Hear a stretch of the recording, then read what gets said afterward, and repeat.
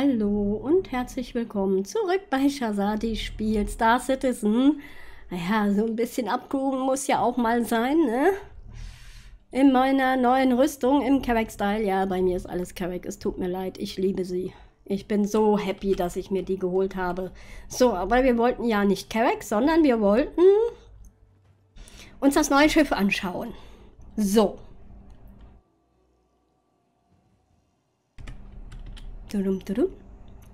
Und zwar handelt es sich dabei um die Aegis Avenger Stalker.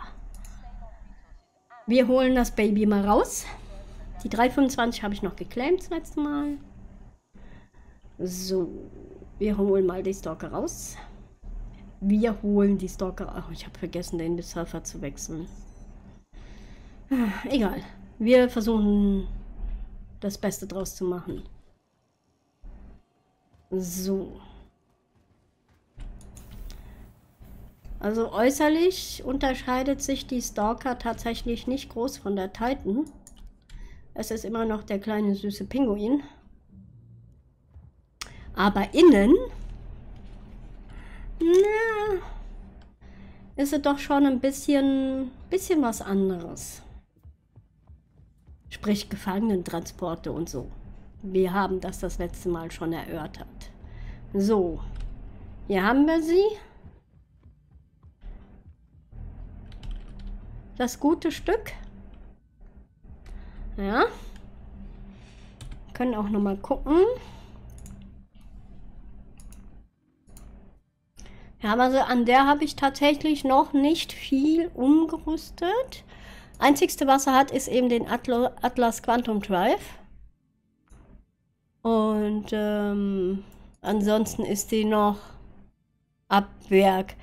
Also der Mantis gefällt mir, den werde ich auch drinnen lassen, aber ich glaube, die Laser Autocannons werde ich auch austauschen gegen die Laser Repeater. Denke ich mal. Jo. So, dann schauen wir mal rein.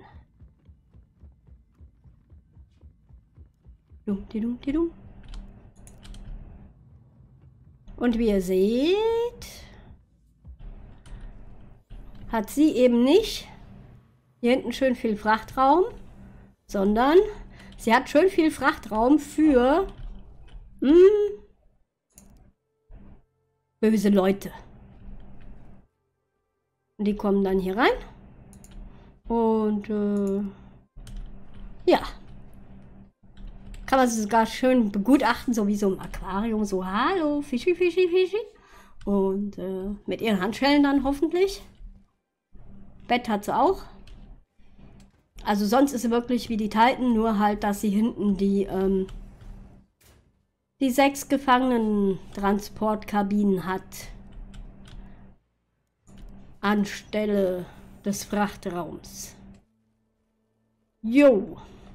Ich würde sagen, Machen wir uns doch einfach mal auf die Suche nach dem Javelin-Frack, oder?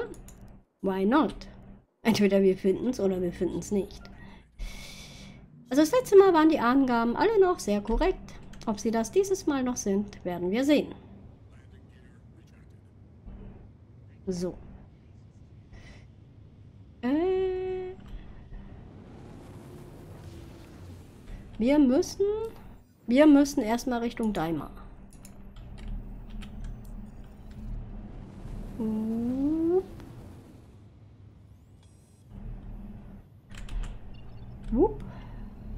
Hä, was hat denn jetzt für einen Schlenker gemacht? Also im Moment machen die Maschinen manchmal komische Sachen.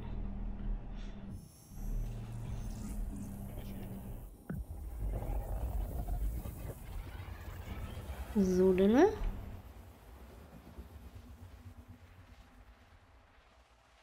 Auf, auf und davon. War es schon ein hübsches Maschinchen. Ich habe ihr auch ein bisschen nachgetraut, weil es war ja tatsächlich so, das war ja mein Starterschiff. Also nicht die Stalker, sondern die Titan. Die war mein Starterschiff in dem Spiel und die ist, ich sag mal so, auf diese 20, 30 Euro beim Starterpaket kommt es nicht an. Und wenn man die Möglichkeit hat, sollte man sich tatsächlich am Anfang die Titan holen, weil sie einfach das beste Allround-Schiff ist. Auf jeden Fall habe ich ihr schon ganz schön nachgetrauert. Und ähm,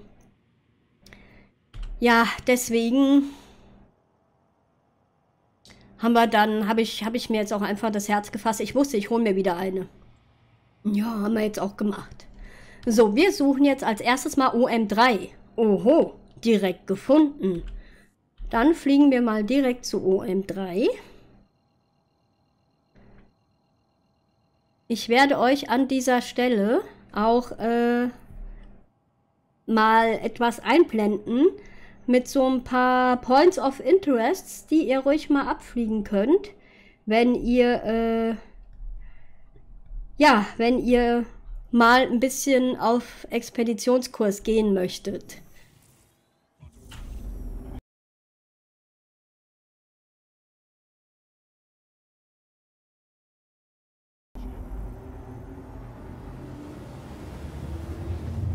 So.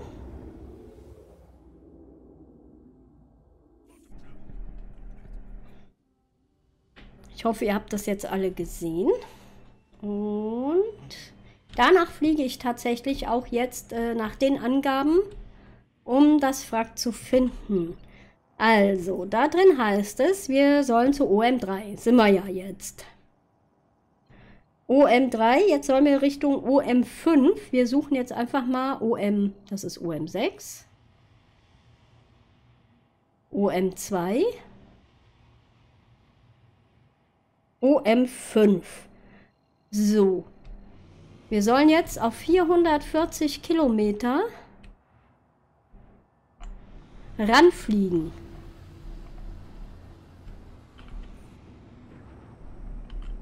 Machen wir mal so.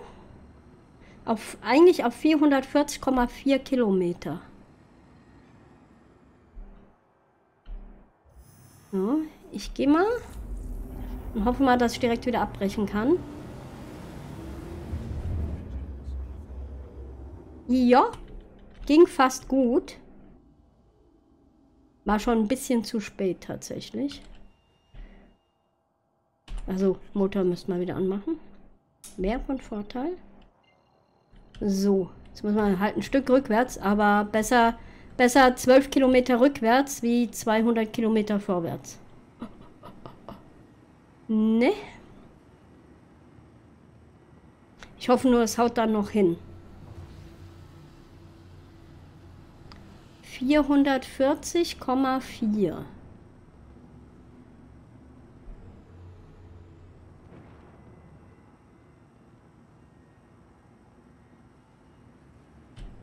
Stopp. Ist aber auch echt schwer, ne?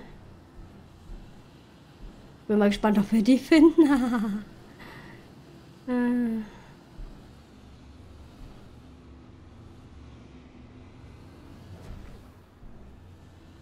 440, Stopp! Warum machst du das immer Maschine? Weil sie mich ärgern will.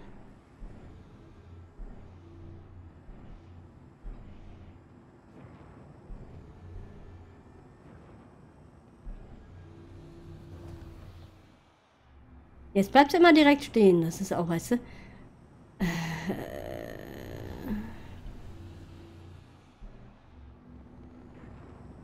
So.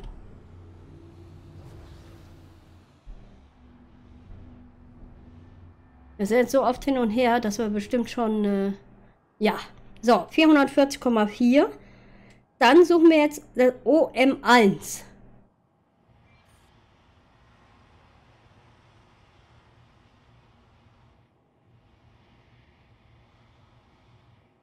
OM3.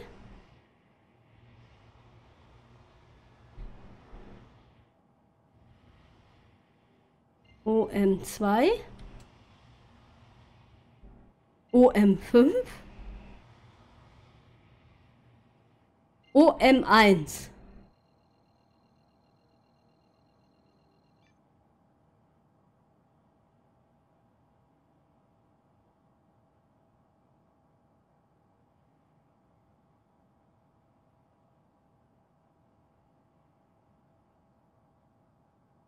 Hm.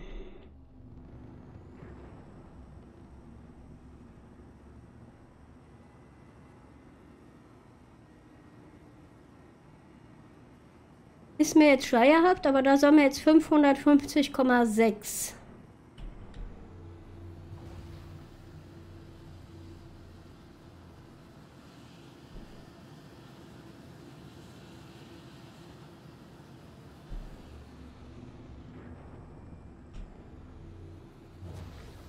Ein Stück vor.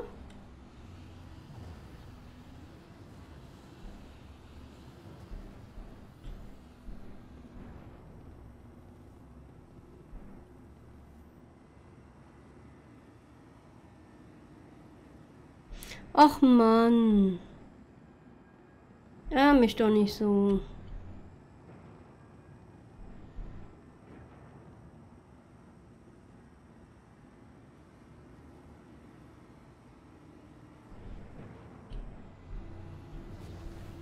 Bleib doch einmal. Das gibt's nicht, sonst geht sie immer ganz kurz nur.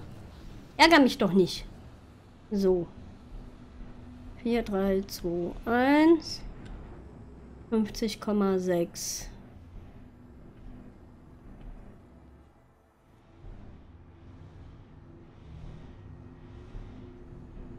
Stopp. Stopp, stopp, stopp, stopp. Und dann Richtung OM2. Und der müsste jetzt tatsächlich... Genau.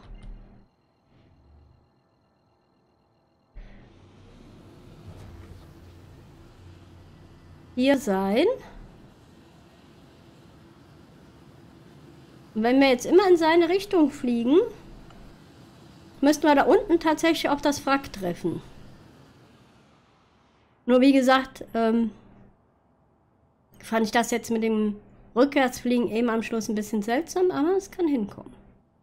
Wer weiß das schon. Theoretisch, wenn wir jetzt bei 460 oder 461 Kilometern sind, müssten wir eigentlich hier oben auf der Planetenoberfläche sein und da müsste das Javelin-Wrack sein.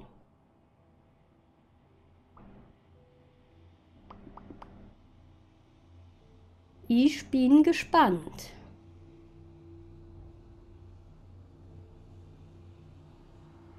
Vor allen Dingen jetzt ist es auch noch dunkel, ne? Man sieht nichts, ey. Oh Mann. Das ist so gemein. Ich würde sagen, wenn das wirklich da sein sollte, also wirklich so tatsächlich echt da sein sollte, dann ähm, warten wir einfach den Moment, bis es hell ist. Beziehungsweise ich warte dann, ihr müsst nicht warten. Uh -uh.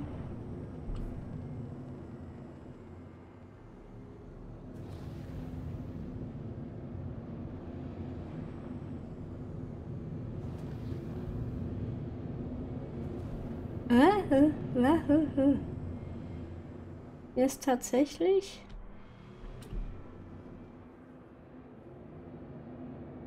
Hm. Also ich würde sagen, da wir ja jetzt hier auch sehr wenig sehen können, warten wir einfach mal, bis die Nacht rum ist.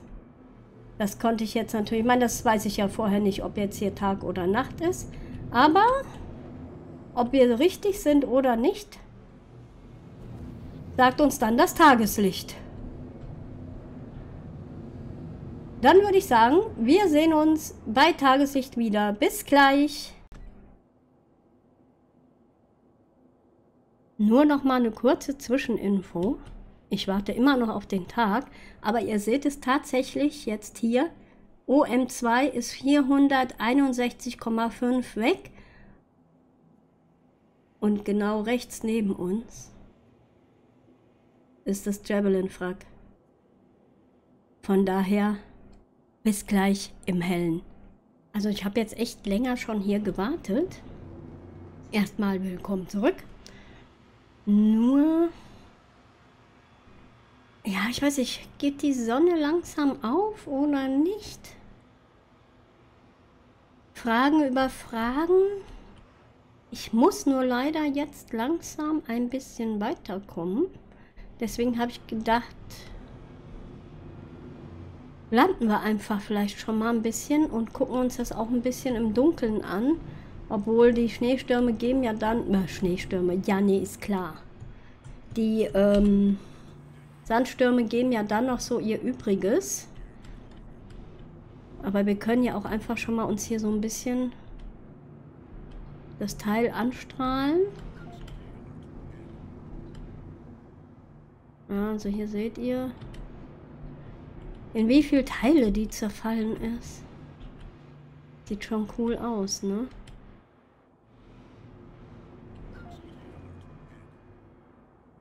Können wahrscheinlich rein. Können wahrscheinlich drin parken. In den Teilen. Sieht auch schon sehr verwittert aus. Die wird schon eine Weile hier liegen.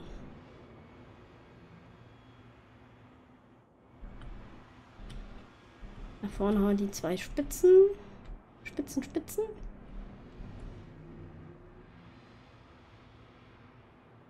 Haben wir das mittlere Teil.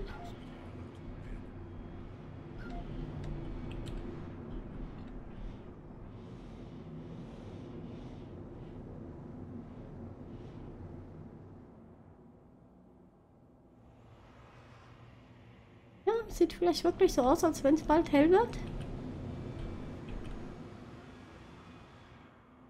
Ich kann ja noch mal ein paar Minütchen warten. Bis gleich. Diesen Anblick, den gönnen wir uns. Ihr seht es. Die Sonne geht auf und es sieht einfach nur so unglaublich geil aus. Habe ich schon erwähnt, dass ich dieses Spiel liebe? Allein genau für diese Momente? Einfach nur für diese Momente. Boah, es ist so satt. Ja, ähm, ich habe mir da schon bald gedacht, dass man letztendlich auch wegen den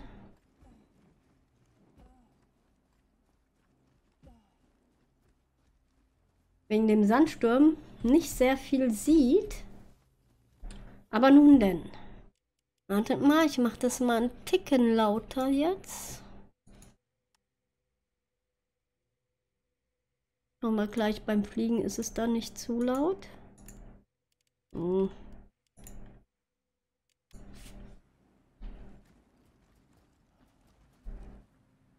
Ja. Also hat was, auf jeden Fall. So. Hm. Auch schön.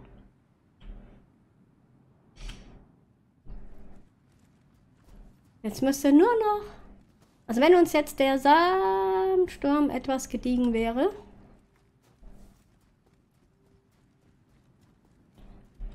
Wäre das schon nicht schlecht. Aber ich bin froh, echt, dass wir das Javelin Fuck wieder auf Anhieb gefunden haben, sozusagen. Schon eine geile Sache.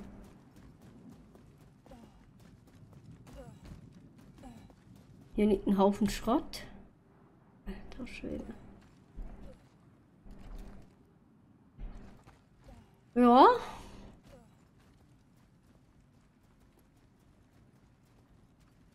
Die hat ganz schön Boom gemacht.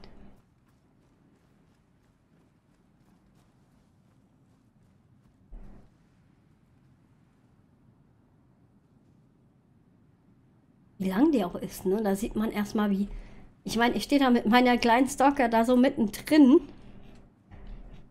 Also ich hätte tatsächlich, glaube ich, problemlos in sie reinfliegen können da hinten. Ja, hier vorne sind dann diese zwei Spitzen. Spitzen, die Spitzensteine. Ne, die Spitzen, Spitzen. Hier so. Dum, die dum, die dum, die dum, dum, dum, dum, dum coole Sache, das. Komm, dann laufen wir bis, bis zur Spitze der Spitze. So weit wir können. Jawohl. Coole Sache. Ja, da oben ist die zweite Spitze.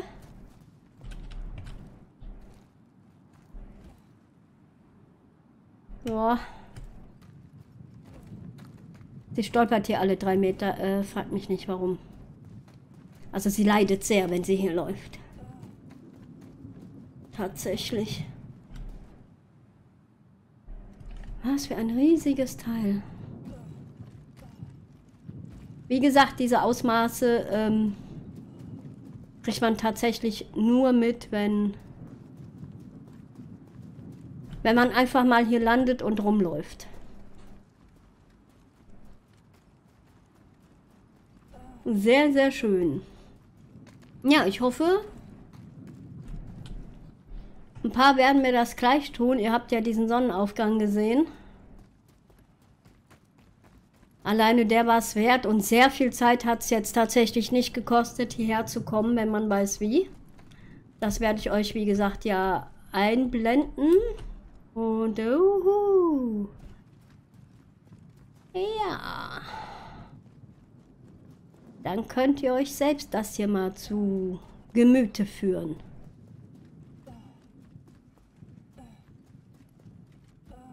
Ah. Äh. Uh. Äh. Äh, ja, egal. Ja, der Sandsturm hat uns leider nicht verlassen. Finde ich irgendwie ein bisschen schade. Aber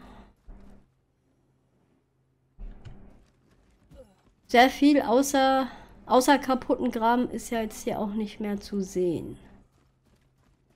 Und dass die Madame hier alle fünf Meter stolpert.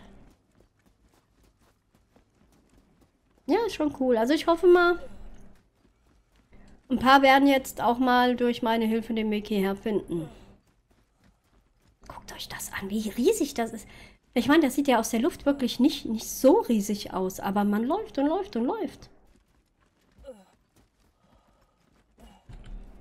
Bis man hier überhaupt mal ans Ziel kommt. Ist ja Wahnsinn. Uhu. Oh, guckt an, es wird klar. Zum Ende der Folge wird es tatsächlich nochmal klar. Ja, dann würde ich sagen, wenn es euch gefallen hat, lasst mir einen Daumen nach oben da. Schaut euch gerne auch die anderen Videos auf meinem Kanal an. Und wenn euch gefällt, was ihr seht, könnt ihr mir gerne ein Abo da lassen. Über ein Abo freue ich mich natürlich am meisten. Und wenn euch das Spiel genauso interessiert und fasziniert wie mich, könnt ihr euch gerne auf der Seite robertspaceindustriescom registrieren. Das Registrieren ist vollkommen kostenlos. Da könnt ihr euch auch ein bisschen über, über das Spiel an sich informieren. Und wenn ihr beim Registrieren meinen Referral-Code angebt, beides findet ihr unten in der Videobeschreibung, dann ähm, bekommt ihr in-game, falls ihr euch das Game doch zulegen solltet, direkt 5000 Startcredits anstatt nur 1000. Ja, und ich würde sagen, wir sehen uns dann das nächste Mal im Verse. Bis dahin, eure Shazadi. Ciao, ciao.